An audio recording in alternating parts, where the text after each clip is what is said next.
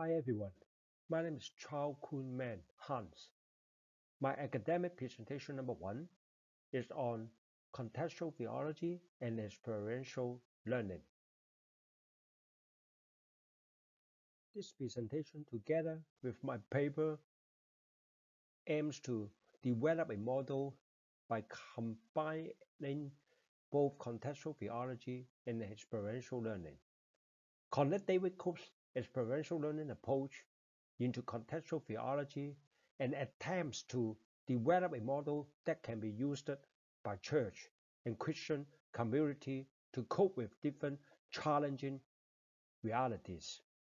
Actually, when we talk about contextual theology, there is another name for it. It is also being called doing theology. As its name suggests, it deals with the context or the realities in which theology can be happen. Contextual theologian Stephen Bevans reminds us that there is no such a thing called theology. There is only contextual theology, black theology, liberation theology, Filipino theology, Asian American theology, African theology, and so forth. Contextual theology deals with everyday experience. When we add in experience, it means we add a meaning to the content of our culture or our historical period, interpreted from our own particular horizon and in our own particular thought forms.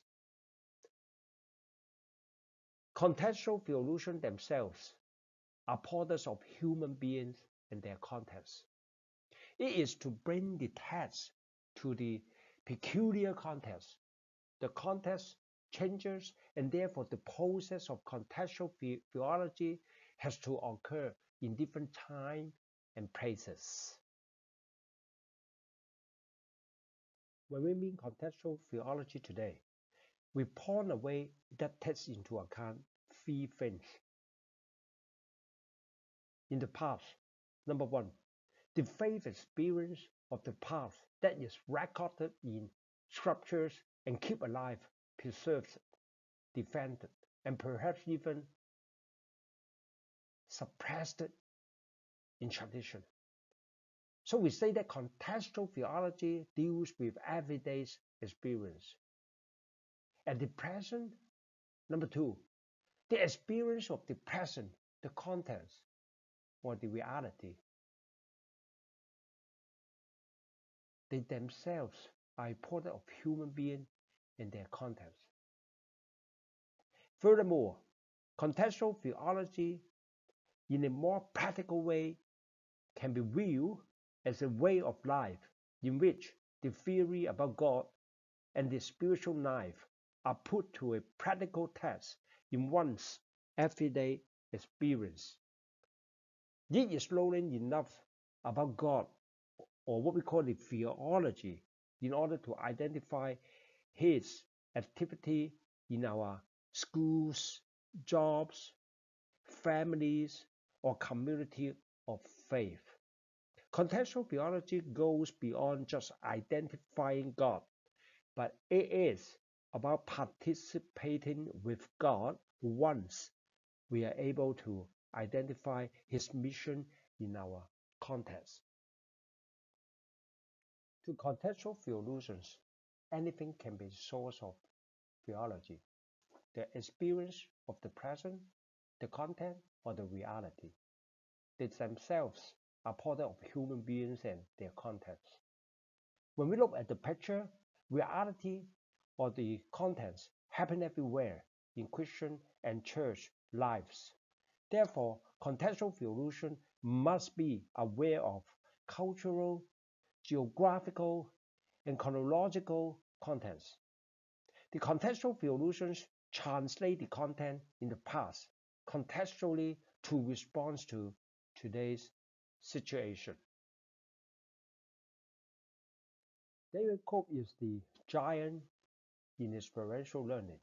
He developed a model that impacts many experiential learning followers. There, we mentioned that the central, the key part of doing theology or contextual theology is of experience. So how do we learn from experience become essential to doing theology? As the name suggests, experiential learning involves learning from experience. According to Kolb, this type of learning can be defined as the process whereby knowledge is created through the transformation of experience. Knowledge results from the combination of grabbing and transforming the experience. In the experiential learning model, Kolb described two different ways of grabbing experience. Abstract conceptualization, concrete experience. He also identified two ways of transforming experience, active experimentation, reflective observation. According to Kolb, concrete experience provides information that serves as a basis for reflection. So when a Christian or church community faces a context, reality, is experience. Emphasize on here and now concrete experience to validate and test abstract concept. That's what we show in the diagram from 1 to 2.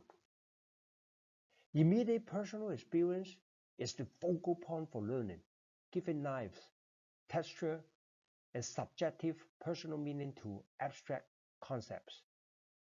In the diagram, as illustrated from 2 to 3. When we talk about the active experimentation or active research it's based on feedback process. This feedback system provides basis for a continuous process of goal-directed action and evaluate of the consequence of that action. It shows in the diagram the action move from 3 to 4. When we combine these two things together, in diagram A, it represents the contextual theology. We talked about content, reality, and doing theology. In diagram B, David Kolb's experiential learning. When we combine A to be, we see that situations of their kinds happen to church and God's people in society or marketplace and the like. The relationship forms a key picture when there is a situation confronting to the church or God's communal society. Social, political, cultural, economical, there is a need for interpretation or reinterpretation of scripture, and this process helps us read from the past to reflect in the present. And there is a need for making a new theology for the confronting situation. Help us point to the future action, and this leads to a new theology for the church or God's communal society to be formulated. When we are arranging these three pieces of perspectives, the relationship shown in the diagram is demonstrated. And also, a butterfly model can be constructed. Reality or situations emerges experience, and this experience can be explored, interpreted by going through the doing theology spiral. Then reflection or theological reflection happens under doing theology, and rules of theology are being formulated. This points to a final step of what the practical theologian or contextual theologians call it practice. When we enlarge the butterfly shown in the middle of the diagram, this butterfly models the V circles into a iterative process. When new situations are to be adjusted, A new biological response is to be formulated, and this process leads to a new status quo, and new challenging situations keep on occurring. And the process, experience, exploration, reflection, response keep iterating and renewing. Theology is settled, and in other sense, it is always being established. As a matter of fact, God is living, moving, and active. So it is true that Christianity is not a static, stagnant tradition, but a living and active one. Every successive generation of Christian believers has a responsibility to the generation that came before it and the generation that lies ahead of it. This presentation has arrived at from the reality and situations insights from experiential learning and contextual theology. With a model suggested by me, butterfly model, I believe that this can offer both conceptual clarity and internal consistency to some certain extent. Theology formulation is an ongoing task of advancing the teachings of the Christian faith. This model helps to contextualize or translate the substance of Christian teaching for new settings and new cultures to church, society, and marketplace.